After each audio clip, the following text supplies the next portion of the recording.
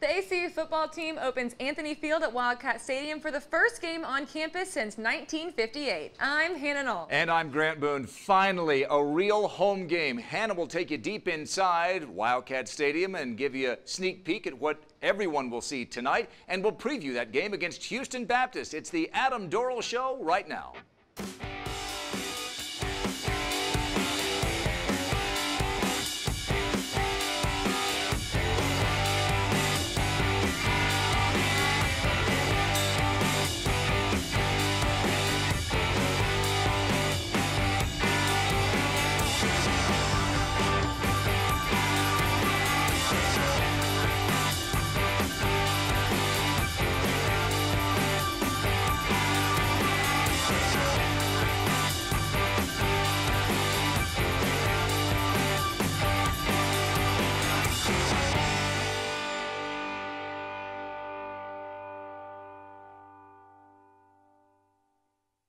Welcome to the Adam Dorrel Show from the JMC Network studios on the campus of Abilene Christian University. I'm Grant Boone alongside the head coach of the ACU football Wildcats, Adam Dorrel. A landmark moment, 70 years in the making, is now just hours away from being realized tonight at 6 o'clock. Right here at ACU, football returns to the ACU campus. It's the grand opening of Anthony Field at Wildcat Stadium. Coach, so many here have waited. They've yeah. wondered, would we ever see football yeah. on campus again?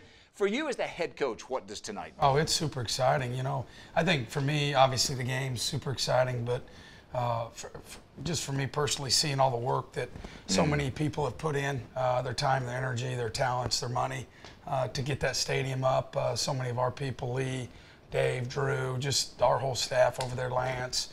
Um, I, it, to see their excitement all week, and, and I know they have put a ton into this thing, and so uh, it's it's a really exciting deal, and um, I'm super excited for our players and our coaches.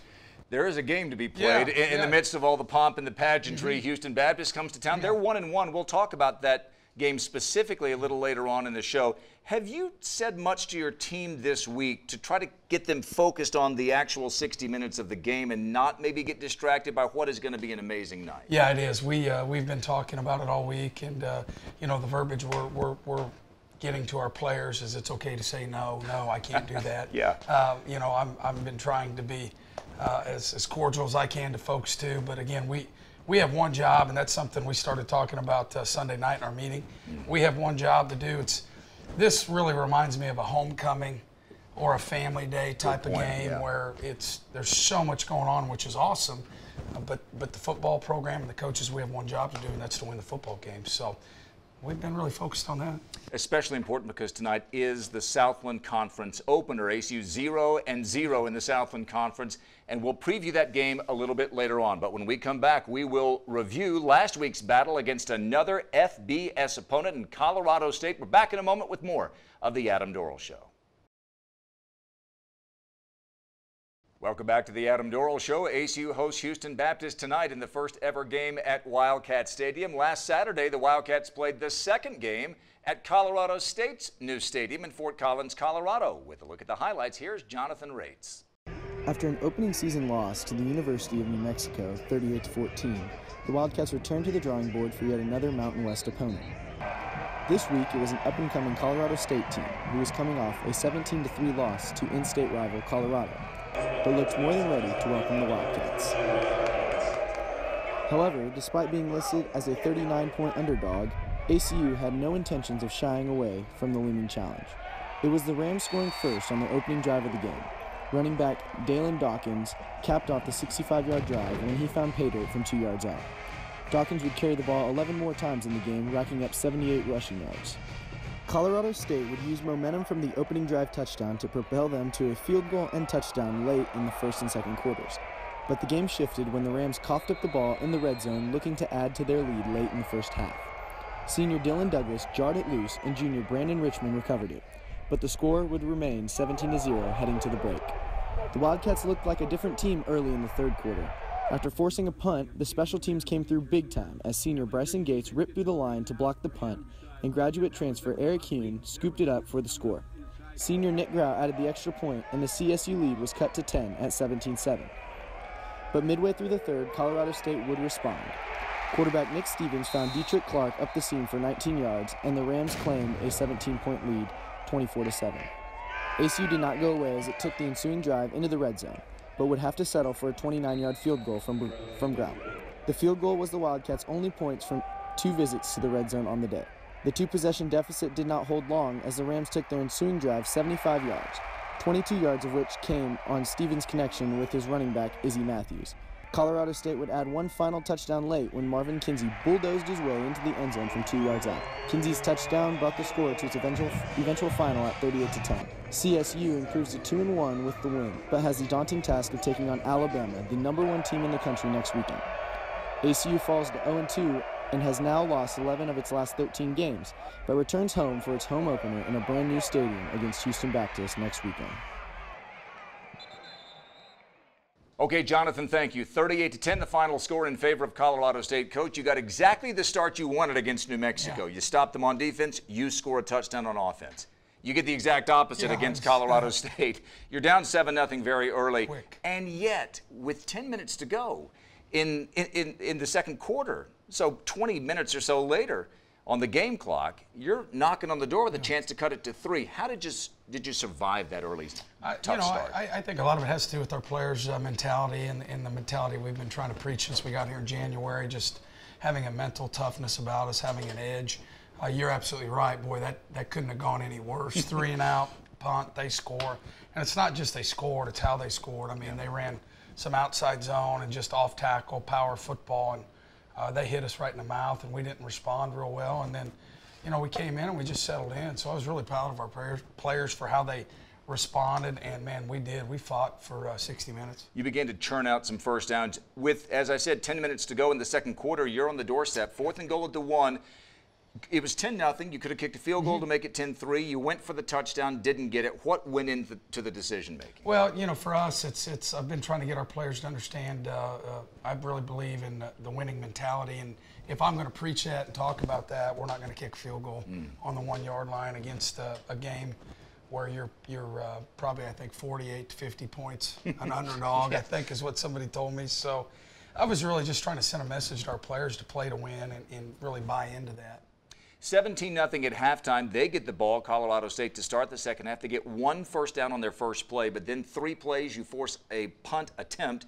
Bryson Gates, right up the middle, yep. blocks the punt. And Eric Kuhn, one of those guys you brought in, one of those drop down mm-hmm. players you call him, came from a, a big time program uh, before coming to ACU, scoops it up and runs in, and yeah. it's 17 7. Mm-hmm. And what had been a really loud stadium at the start, the cannons were going yeah. off, it got, really quiet, it did, not yeah, it? Yeah, it did. And, uh, you know, for me, just talking to their coaching staff after the game, I know um, they were very complimentary of our players and the way they played through the whole game. Obviously, that's not what they wanted. Uh, they, you know, their mindset was get the game over by half. they play Alabama this week. They wanted to stay healthy. So, our guys just battled and we, we blocked that punt, which uh, our goal this week was to block a kick and to score, and we did it on the same play. Score a special teams touchdown, and we did. And then just the excitement on the sideline where guys, again, were that there was truly a belief that if we can get another score on there, man, it was going to put a lot of pressure on them. You get a field goal with four minutes to go from Nick. It's 24-10 with 20 minutes to go. Yeah. You had to feel like not only are we competing yeah. well, we're in this game. Absolutely, we were, and that's that's that's how guys felt at halftime. That's how we felt as coaches, and that's for me right now uh, why I'm excited to get the conference season mm. started. I know this is a tremendous conference. I know it's tough, but we just played two really good FBS schools, and you know our kids didn't blink. They went out and played hard. They weren't intimidated. They weren't scared, and um, you know, from a standpoint of matching up, I thought we did that pretty well. To me, where you really saw the difference was in the depth. Mm. that's something I've challenged our, our, team on is we have to be more competitive in practice uh, in our program, and you know, we, we have to continue to try to develop our depth through recruiting, through the weight room, through video study, and guys just uh, sheer desire to want to push uh, the starters. Three giveaways for Dallas Sealy in game one his only turnover in this game was a hail mary yeah. at the end of at the half, which mm-hmm. to me doesn't even really no, count. Right. He threw 25 of 38 for 258 yards. Mm-hmm. And I thought in the second half, even though the stats didn't blow people away, I thought you found some things in the running mm-hmm. game. Am I off no, base there? absolutely not. No, I mean, you know, those guys are good. Uh, their defensive line's good. Their linebackers are good. They're big kids. Uh, I thought Dallas played really well. I thought the O line did some good stuff uh, our starting offensive line through 35 snaps didn't give up a sack. Correct. And when you're playing against a, a team like that, who I think uh, the week before had four sacks against a Pac-12 school in Colorado, uh, I think that says something right there. I thought I'll our guys were ready to play. Uh, but that's been an emphasis of us. We're going to try to run the football better this week, and, and we're really working on that practice right now. But um, I think we're starting to really find our identity at a good time. Be remiss if we didn't say Bolu Anafade, safety, 17 tackles, a career high. Gavin Burford had his Yep. first career interception, and Brandon Richmond at safety had 12 tackles as well in what I thought was a really physical performance Yes. by your defense. So now ACU gets ready for conference season. It begins tonight against Houston Baptist, and we will preview that game a little bit later on. We'll also get a preview of Wildcat Stadium from Hannah when we come back. But first, as we go to break, take a look at some of the scores from last week around the Southland Conference. Stay with us here on the Adam Dorrel Show. This week on the Sportscast. First, the Wildcats open a brand new stadium this weekend. We take a look inside the brand new locker rooms. Then, soccer traveled to Oklahoma this weekend after a convincing 7 1 victory over UTPB. We find out how they did. And finally, we look at the start of volleyball's three game winning streak and the beginning to the fall season for golf. Welcome to the Optimist Sportscast. I'm Jonathan Rates. The team has been moved into its brand new home for almost a month now, and one of the highlights has been the upgraded locker rooms. The locker room features nameplates above each locker with all three jerseys the Wildcats will wear. ACU now has an all black jersey and added a white helmet for the all white jersey combination it will sport this year. The stadium also features a green room where the team can host its meetings on game day. Soccer finished the non conference portion of its schedule in Oklahoma as the Wildcats fell to Oral Roberts and nationally ranked opponent Oklahoma State over the weekend.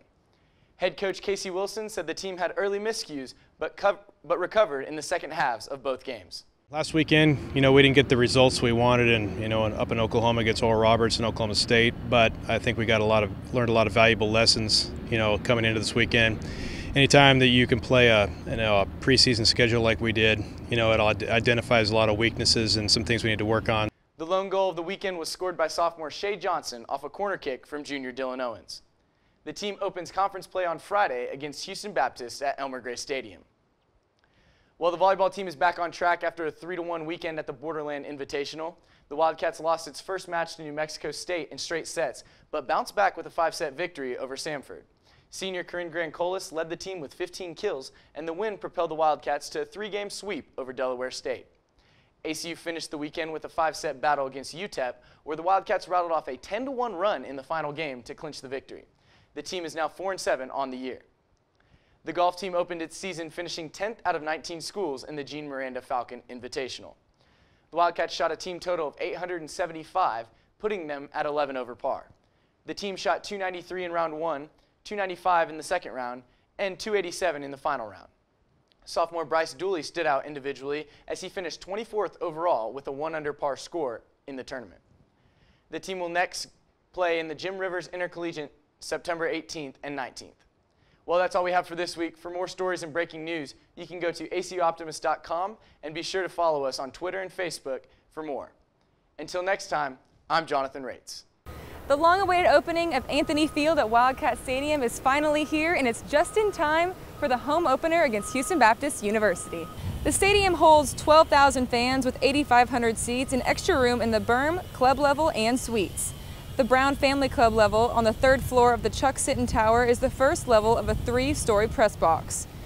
The second story holding 10 suites lining the level, and the third story held for press. The club has many features, including seating for 300 people and standing room up to 400.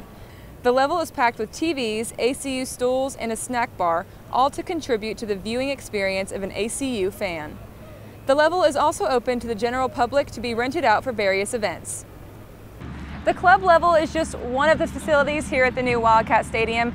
Today we have five-year veteran and team captain Kade Munden to give us a tour for the rest of the facilities. Kade, thanks for being here. It's great to be here. So the first home game is finally here and you finally get to play on this new stadium, but y'all have been using these facilities all summer. How has that been? It's really been awesome. Um, just the whole aspect that it's it's brand new. It's here on campus, um, and it's right here. I mean, we walk out of the locker room, it's right there. So having it available to us over the summer and through fall camp has really been awesome. So how would you compare this experience to, say, Shotwell? Um, I, again, I think the aspect that it's new and it's right here is, is going to be great. Um, I know that Shotwell's been a great place for us to play, um, but this is on campus and the students don't have to travel very far to get here. And I think that we can fill it up and it'll be loud and crazy, so it's going to be exciting. Right. So, what would you say is your favorite part of the new facility? Probably the locker room. Well, let's go. So here we are in the locker room. Tell me a little bit about it. What's your favorite parts? So uh, it's brand new, as you can tell. I mean, it's super nice. Um, it's really sectioned off into uh, position groups. So we've got the quarterbacks over here, running backs, receivers, um, tight ends, kickers, uh, defensive linemen, defensive backs, linebackers, and then uh, offensive linemen. And uh, also, we've got some brand new furniture, um, ping pong tables, TVs. So it's it's really nice in here. So the players' lounge is clearly very nice. Did y'all have anything like this at the old facility? Nothing like it. So it's kind of our uh, our refuge. You know, we can come in here before games, before practice, uh, after weights, and kick back on these nice chairs and watch TV and play ping pong. So it's really kind of our our getaway from from everything. Right. You've got two TVs in here, posters over here talking about accolades and all that. Does does this all this all this new stuff does it give you the boost to want to do more? It really does. You know, it's it's kind of that thing that we can hold in our back pocket and say, hey, look, this is what we're working for. Um, we've had all these very generous donations and, and whatnot that allow us to even have this stuff, and so it's it's motivation for us of, hey, look, these people care enough about us to, to give us these these beautiful things that now it's our turn to, to give them what they want. So it's very nice. Well, speaking of donations, let's take a trip up to the suites and check those out. Let's do it. So this is one of the suites. Um, there's a lounging area. Um, there's a food station back here with a refrigerator, and then there's also a nice TV. Um, uh, as you walk further out, there's a ledge, and you can sit out there and watch the game uh, from a bird's eye view. So it's really nice up here. So this is actually the Anthony Suite, and the Anthonys were the main contributor to the whole stadium, and that's we have Anthony Field. So now that we've seen the suites, we've seen the locker rooms, we've seen the players' lounge. Let's go down there and check out the field. That's it. So there's a little something different about this stadium than there has been in the past, and it's that the student section is actually on the opposite side, the visitor side. What do you think about that? I think it'd be great. Um, past stadiums that we've been to, all the student sections have been behind us, and it's it's really hard to focus when there's thousands of people standing behind you screaming at you. So I think that having the student section over there will be pretty beneficial to us. Yeah, it'll kind of give us the actual home field advantage by right. being able to be on that side. Um, so one question about the turf itself. You have these little green beads. Can you tell me a little bit about them? So the, uh, from what I understand, the green beads are, are kind of a coolant. And so uh, whenever the sun shines down on the turf, um, instead of having black beads there to, to absorb all that heat, um, the green bead or the off-colored beads they actually reflect the heat. So uh, I know in the past we've we've had guys come off the practice field with their shoes like really melted off, like actually melted off, and so having this this uh, new turf and new beads has really been awesome. So you'd say that you can definitely tell the difference. I can definitely tell the difference. So um, having a new stadium, like you've said, it's on campus. It's right here. People can walk from their dorms. How do you think that's going to change the culture of ACU football? I think it will change it. Uh, like people will actually be able to show up. Uh, you know, driving all the way across town is it's not an option sometimes for some people. So um, I think that being able to walk right from your dorm, come over here, get in the stands, get something to eat, get crazy with your friends. I think that that'll be a huge game changer in uh, ACU football. So along with the culture, you you guys, you the team, are the ones that are really stimulating that. It's kind of the the thought of protect your house. You know, we finally have something to call our own. And so a lot of the guys, I mean, the guys, um, we kind of have this mentality of, you're not going to come in here, you can't come in here and take this away from us. You know, it's ours. Um, these are our fans. This is our turf. So having that behind us is something that we can really kind of push ourselves and uh, and uh, better ourselves to to keep it safe. So. Awesome. Well, we're really excited to see you here on y'all's turf. Um, and good luck this weekend. Thanks so much for talking with us. Thank you. And there it is. The Wildcat Stadium is finally open with all of its new facilities today for the home opener against Houston Baptist University. We'll be back with the Adam Dorrel Show. Welcome back to the Adam Dorrel Show. Take a look at the rest of this week's Southland Conference schedule. 10 of the league's 11 football teams in action today. Eight teams are playing their conference openers, and of course, that includes ACU against Houston Baptist, the first ever game at Anthony Field at Wildcat Stadium. The Wildcats come in 0-2. Of course, those two losses coming to perennial bowl teams from the FBS, New Mexico and Colorado State.